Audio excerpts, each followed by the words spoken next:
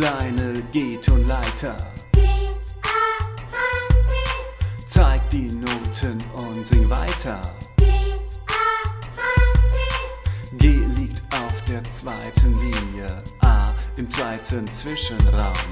H liegt auf der dritten Linie, C im dritten Zwischenraum.